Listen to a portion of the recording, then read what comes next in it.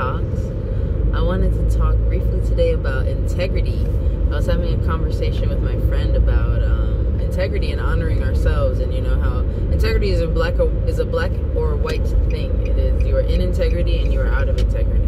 Um, you can break integrity, but you can step out of it, but you can also step back into it.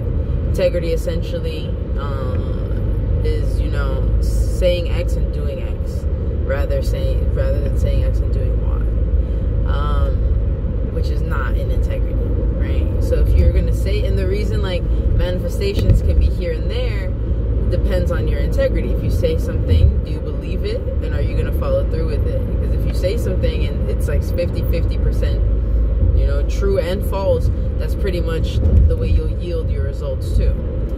And the thought that I was having is like how often we break integrity with ourselves, and it's pretty easy to do so if you think about it. Like, uh, I'm just gonna be on the phone for 10 minutes, knowing damn well that you don't know how long this person's gonna talk, but that maybe you just have 10 minutes because then you were gonna do some other stuff, but now you're here, you're talking 20 minutes, and you've broken your own integrity when it was unnecessary, you know? So, what I've been thinking about is being more in integrity with even my desires and better understanding what I actually want. So instead of being like, I'm gonna work out, knowing damn well I'm not gonna go work, or I'm gonna go to the gym. I'm not gonna go to the gym. Like, why would I say that? Because then I'm setting up this expectation that I'm going to betray myself about. Not on purpose. Sometimes I do go, sometimes I don't, but that's not the form that I usually take to exercise. Instead of saying, I will spend 45 minutes walking today or you know what? I will take the stairs instead of taking the elevator today. Like making it, I guess, a little bit smaller. Um, and it's not so much about lowering your standards. I think you can build up to having different expectations, but you need a baseline.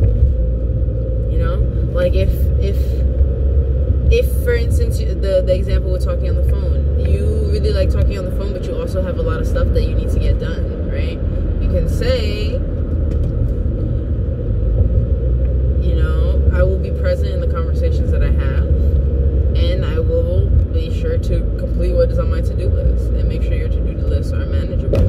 Instead of putting like 50 things on a to do list, like really be real about what what you are feeling to do in a day because you can do anything you can do a lot in a day and also what are you really knowing like your schedule driving food is gonna have to be accounted for sleep um, and if you're liking to talk to people, that also all has to be counted in for, you know? So, yeah. I had an example, I have, I'm having a thing today, which is interesting. Um, I told my uncle, who got, who helped me get this car, um, that I would come in today to help out. Um, I forgot that it was Wednesday, and I was hanging out with my friend Seth, who just came back from Arizona, and just, you know, we were just chilling, and I was like, oh shit, I should probably figure that out.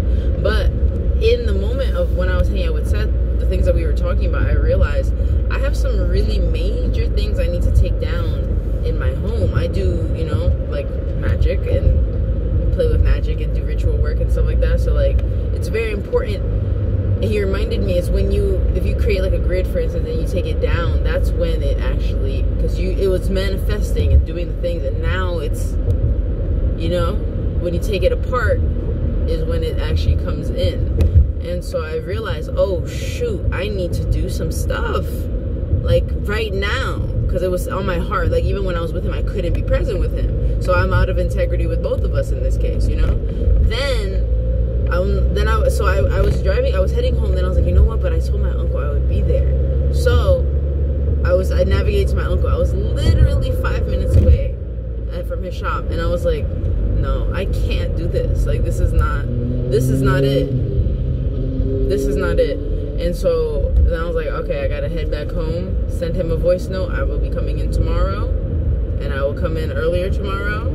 That's me. I didn't tell him that, but I will come in earlier can't make up for what has happened already, and also you can make your best effort the next time. So I'm heading home to do the things that I need to do to feel comfortable and put my heart at ease because I've been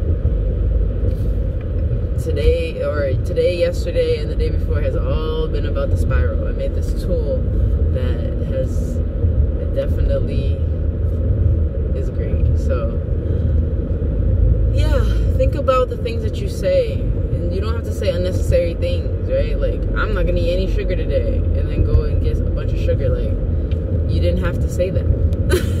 if that's not really what you want, or it could be what you want, but why are you breaking it then? Then let's let's actually sit down and let's talk about what are we actually committed to then? What what is it that you actually want? Because if you wanted something, if you want sugar, then just say you want sugar.